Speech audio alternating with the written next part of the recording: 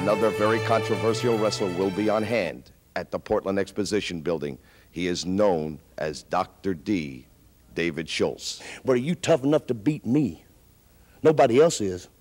And when I get there, boy, I'm going to take that belt from you and I'm going to bend you over my knee and I'm going to whoop you like a red-headed stepchild. You hear what I'm telling you? You listen to me and you get it in that thick head of yours because I am dead serious. Dr. D, David Schultz. Davey? It's a one fall, 10 minute time limit match. He's going against Billy Travis at 230 pounds out of Hamden, Connecticut. And there you see Dr. D. David Schultz. Schultz out of Nashville, Tennessee, 258 pounds. Steps up on the apron through the ropes, and we await the signal from referee Jerry Calhoun.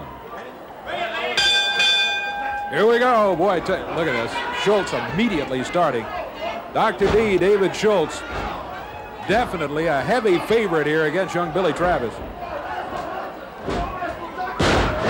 Quick snap suplex. Travis through the ropes down on the floor. David Schultz out there to pick him up.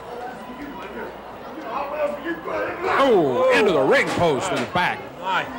Uh. Schultz heads back to the ring. Travis down here on the floor. Billy's back. Yeah, he, he rammed his back into that ring post. Boy, he broke him around that ring yeah. post, Dave. Referee counting him back in the ring.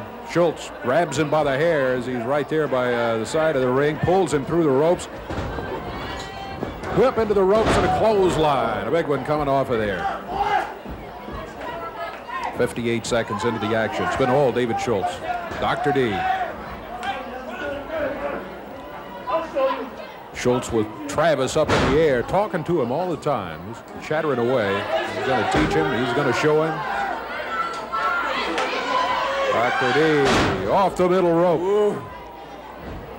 It's cover. Two. He got it. One minute, 24 seconds.